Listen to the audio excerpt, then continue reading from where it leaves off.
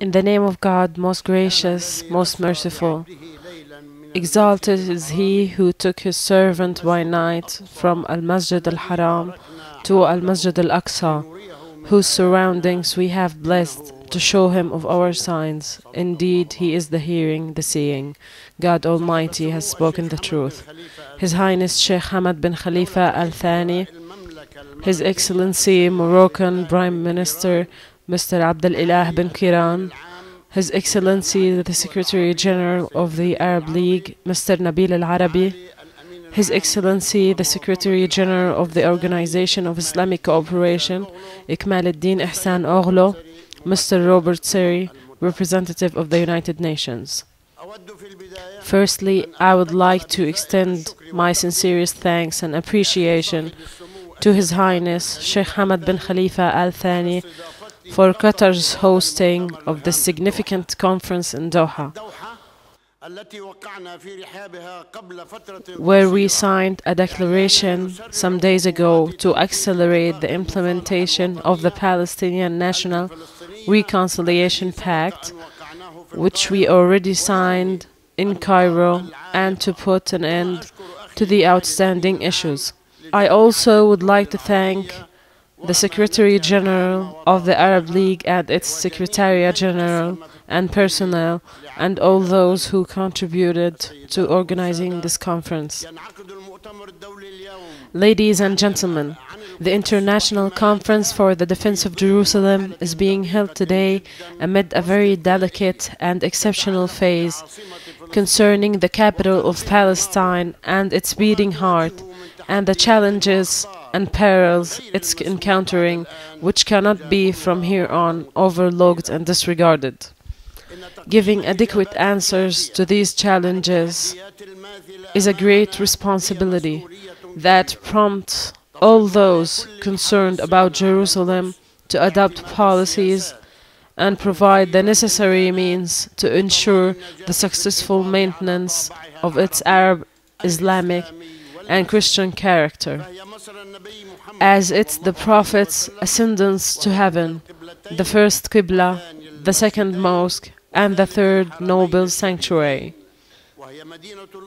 It is the city of Al Aqsa Mosque, the Dome of the Rock Mosque, and it is the city of the Church of the Holy Sepulchre and Via Dolorosa, and the city which must be a symbol of peace.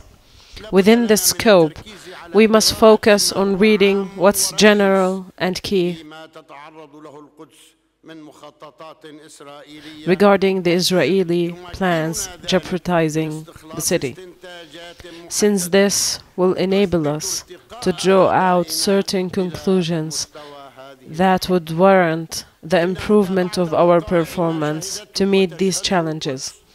In reviewing the events with Jerusalem has been witnessing during the past few years, up till today, by the occupation practices, we can draw but one conclusion. The Israeli occupation authorities are unprecedentedly speeding up using the ugliest and most dangerous means the implementation of plans they consider as the final battle of their war, which aims to obliterate and efface the Arab, Islamic, and the Christian character of East Jerusalem in a pursuit to Judaize and perpetuate it as a capital of the occupying state, contrary to more than 15 UN Security Council resolutions which call on Israel to retract its procedures and consider them void. However, we must continue to address this international forum, and I am in favor with His Highness the Emir's suggestion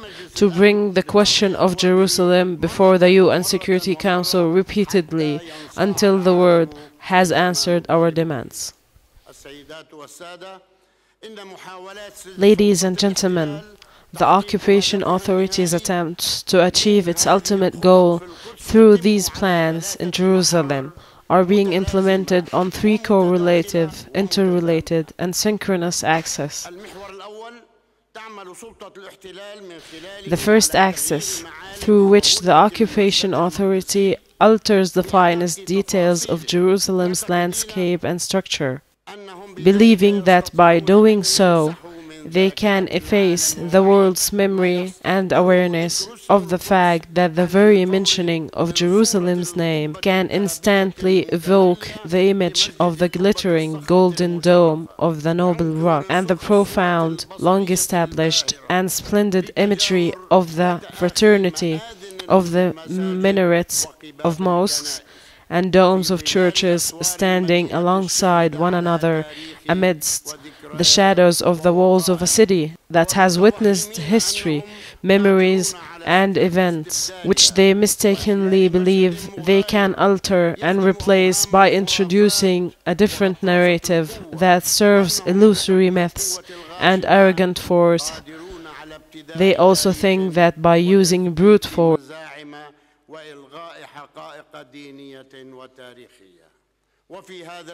in this context, Jerusalem stands witness to an unprecedented acceleration of settlement attacks as work is being done day and night to make up artificial details in the Jerusalem scene, details which are antithetical to Jerusalem's Arab architectural features and cultural and civilization roots, which had established the identity of the city of Jerusalem and the Church of the Holy Sepulchre.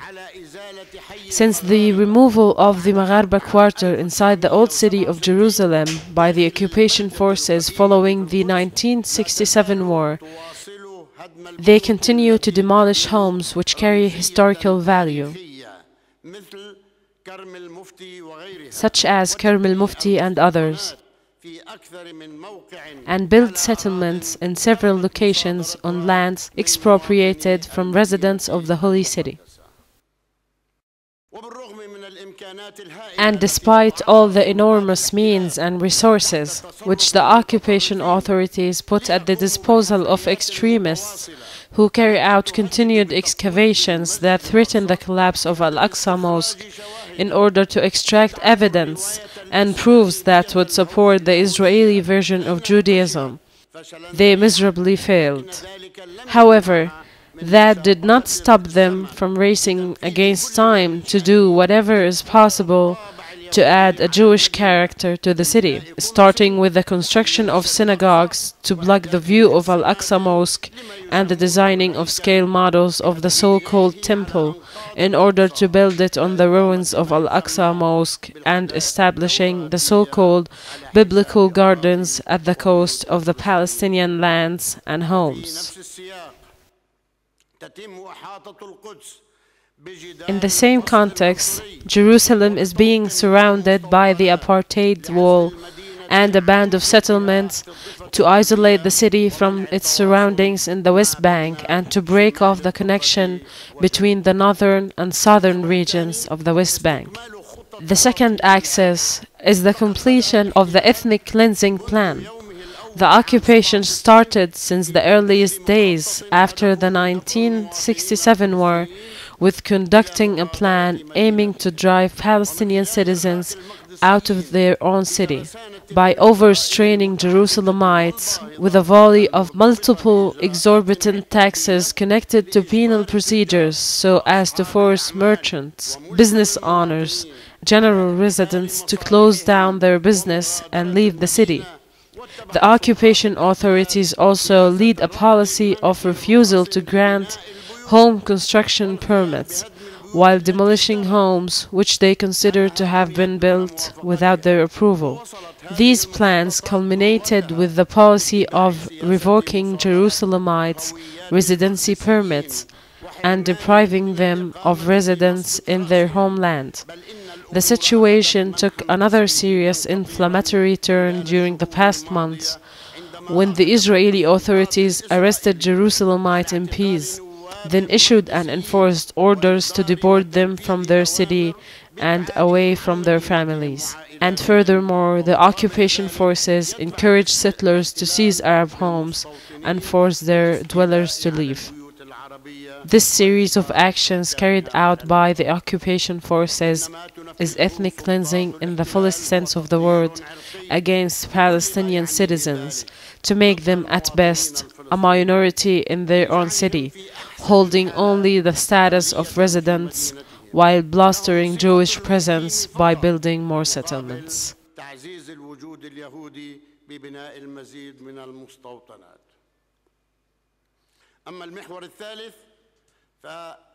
The third axis, through which the occupation forces impoverish the holy city, destroy its infrastructure, and undermine its economic resources, although it has always been throughout history a home for prosperity and a major economic, tourist, medical, and educational activity center, as well as a cultural, intellectual, and artistic hub in Palestine.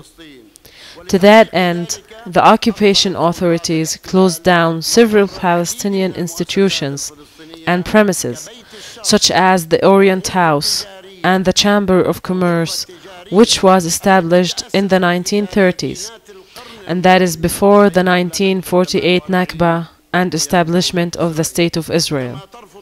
They also refused to grant construction permits to build hospitals, universities, schools, hotels, homes, and commercial centers, and they have enacted legislations and taking procedures to control the movement of international tourists to keep them away from Palestinian owned hotels in the city.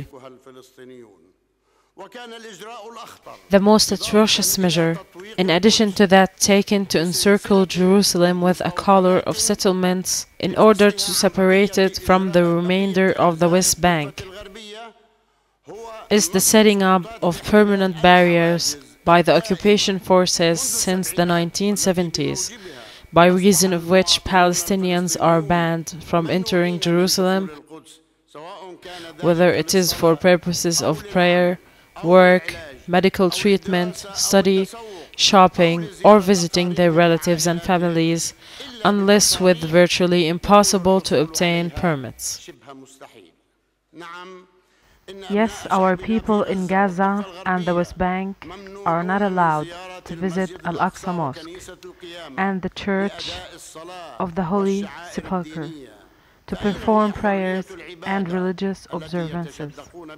Where is the professed freedom of worship, which is a fundamental human right guaranteed by all international conventions? Born and raised in Palestine, ladies and gentlemen, is a generation who is not able to visit their sacred city, which is only a few minutes or at most a 30 minute drive away from their city, village, or camp.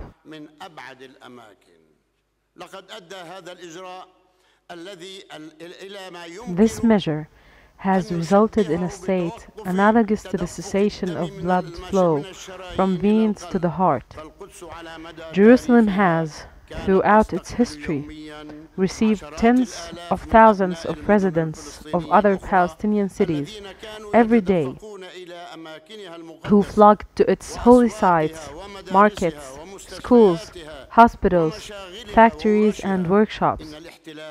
The occupation aims to prevent Jerusalem from playing its historical and religious role and seeks to wipe out its distinguished character as a global and leading civilized center that never ceases to contribute to and enrich human civilization, trying to change it into old and faltering neighborhoods, deserted mosques and churches, and empty markets and streets. It is attempting to take the jewel of Palestine and its cities centuries back. Ladies and gentlemen, these are the factual witnesses of the city of prophets, and these are the challenges facing both Arab, Muslim, and Christian nations worldwide. And if we agree on defining the goals and plans of the occupation, it should be easy to determine the means of confrontation. One of our key conclusions, which amounts to the level of the challenge, is by stressing that what's required is to support the resilience and endurance of Jerusalemites, guardians of the holy city, who, despite the dark image caused by the enormity and atrocity of the occupation assault, remain a gleam of hope and a guarantee of success and resilience. For they are the people of Jerusalem, the ember holders inside and in the environs of Jerusalem. And they are the people of the land of resurrection and in gathering. Thus said the Prophet. Regardless of the attempts and plans, Jerusalem will remain Arab at heart and mind, spirit and language, and the Jerusalemites will, side by side with their entire nation, challenge these impossible situations and keep living in their city, building and protecting Al Aqsa and the city's mosques and churches.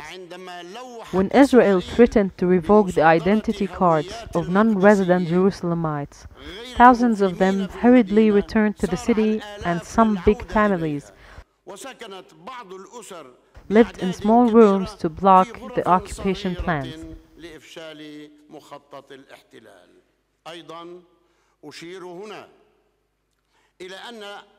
Here, I also would like to note that there is a number of detailed studies and projects that have been carried out in different sectors over the past decades on what must be done to rescue Jerusalem. There are approved Palestinian mechanisms and professional staff to whose capacity, competence, and integrity all international and financial organizations testify, and who are capable of implementing any proposed project. I would like also to indicate that there have been decisions made during the Arab summits the most recent of which is the second Sirte summit on supporting Jerusalem but these were not implemented. We have agreed with the Organization of Islamic Cooperation, which approved the plan we prepared for Jerusalem, that we will work together so as each and every able Arab and Islamic state supports one of the vital sectors for our people in Jerusalem, such as health, education, housing, infrastructure, culture, religious sites, trade, economy, and others.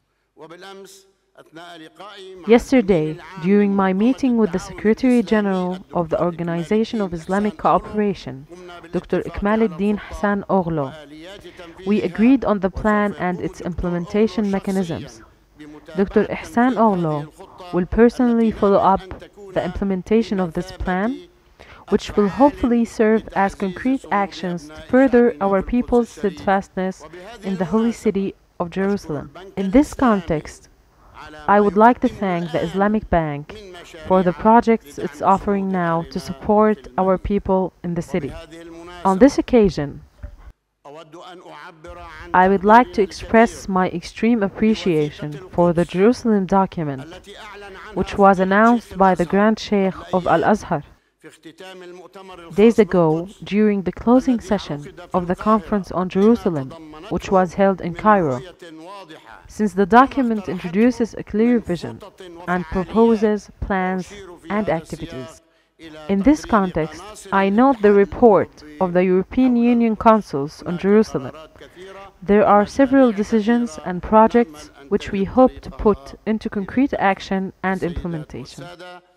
Ladies and gentlemen, the core of any work we carry out is anchored in the perception and establishment of Jerusalem as a central element to the Palestinian cause.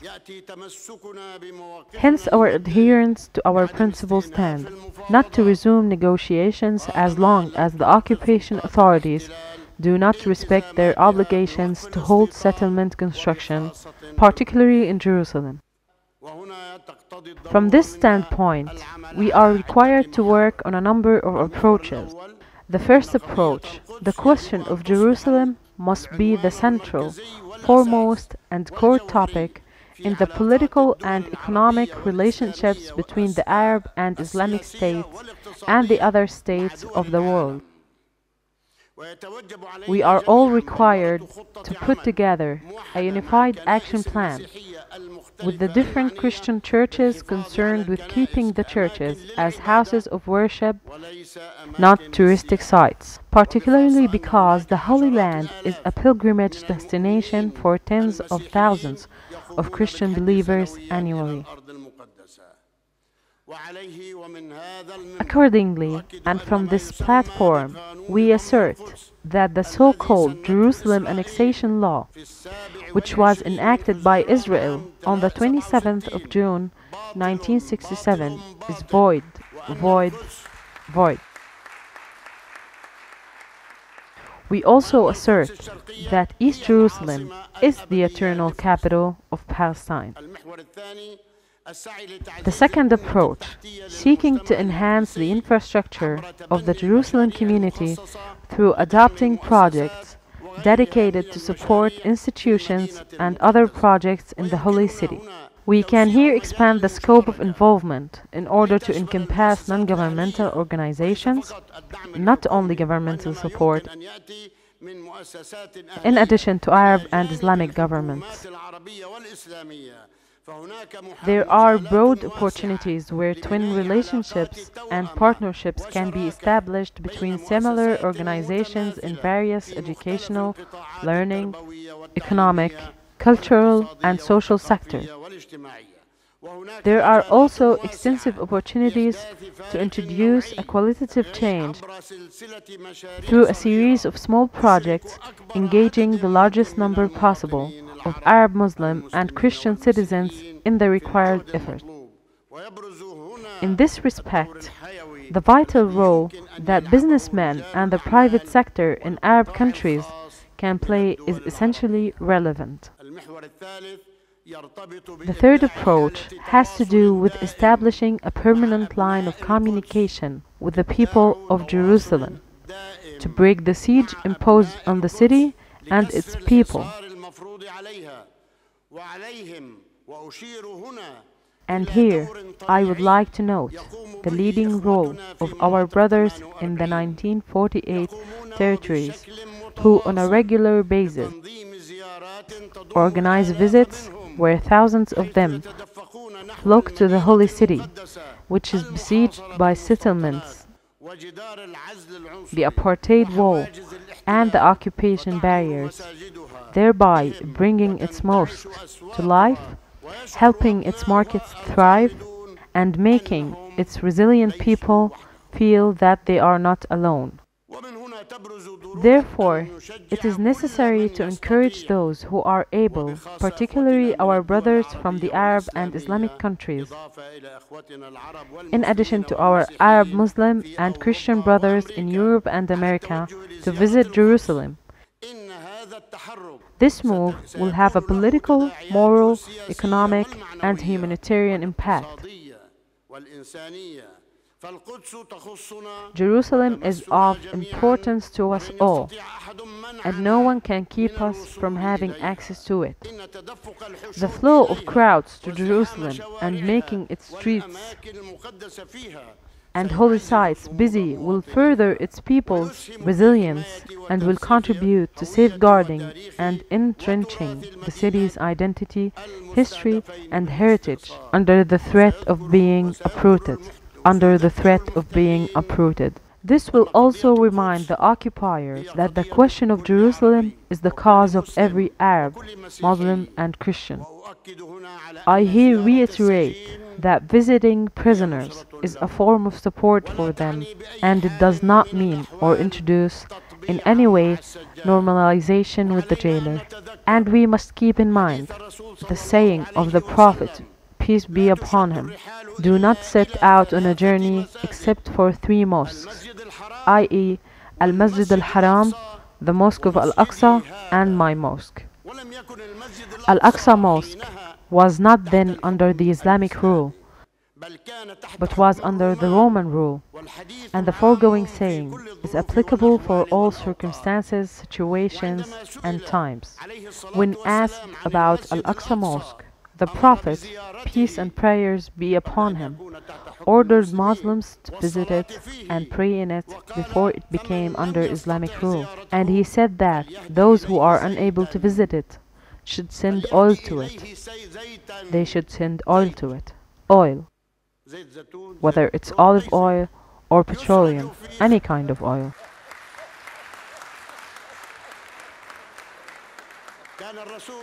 The Prophet, peace be upon him, had known that a type of oil will be introduced several centuries later.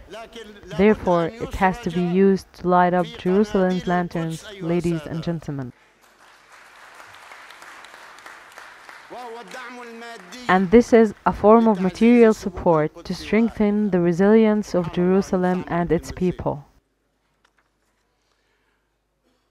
The Prophet, peace be upon him, traveled by night to the farthest mosque in Jerusalem during the night journey and the ascension, Isra and Miraj, where he led other prophets in prayer in Al Aqsa Mosque, which was not back then under the Islamic rule, but it was under the Roman rule. He did not ask for permission, a visa, or an authorization from the Romans to lead the prophets in prayer in Al Aqsa Mosque. Prior to that time, prior to that time, the Prophet, peace be upon him, had dwelled in Mecca for long years, praying in Al Kaaba, while it contained tens of idols.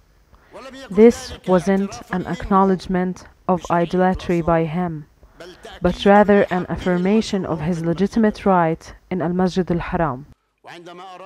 And when he wanted to visit Al Masjid al Haram after the Hijrah, he was forced to obtain the approval of the Quraysh disbelievers who were in control of Mecca following the Treaty of Hudaybiyah. No one would dare say that the Prophet, peace be upon him, normalized relations with them, because we always hear the term normalize. Therefore, the visit of a prisoner, as we said, is not normalization with the jailer, but it is a form of support, backing, and assistance to them, and to make them feel that they are not alone, but that all Arabs, Muslims, Christians, and the free people of the world are supportive to them. Moreover, did any Muslim jurist outlaw the visit to Jerusalem and Al Aqsa when they were under Crusader rule? We were ruled by Crusaders for 200 years. Nevertheless, visitors of Jerusalem came to Mecca and Medina, then to Jerusalem, where they prayed and sometimes resided and lived there. No one at that time outlawed such visits. Did Muslims stop visiting Jerusalem during the British Mandate when the British High Commissioner, Herbert Samuel, was residing in Jerusalem on the top of Jabal al Mukabbir, that towers over Al Aqsa Mosque, supervising and administering the holy city? Nevertheless, people kept visiting Jerusalem. Therefore, we confirm that visiting a prisoner does not mean normalization with the jailer. Your Highness, Mr. Secretary General, Your Excellency, ladies and gentlemen, the message of our people in Jerusalem to you can be summed up in the following.